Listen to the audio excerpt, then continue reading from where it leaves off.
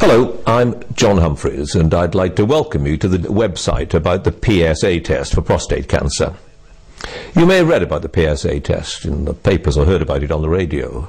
You may have family members who have prostate cancer, so you may be wondering whether or not to have the test yourself. PSA stands for prostate specific antigen.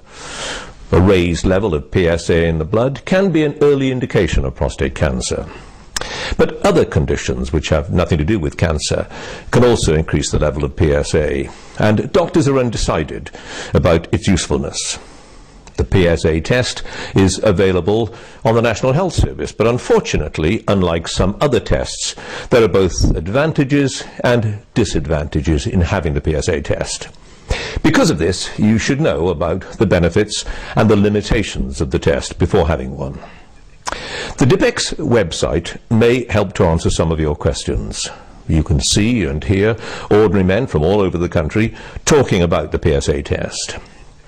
Men explain how they made the decision as to whether or not to have the test and what influenced their decision.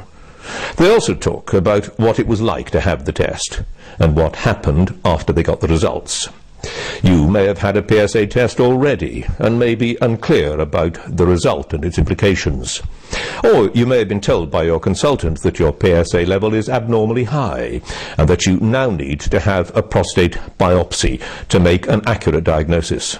Or you may have been diagnosed with prostate cancer and now need to think about treatment options. Whatever your situation, we hope you will find this part of the website useful.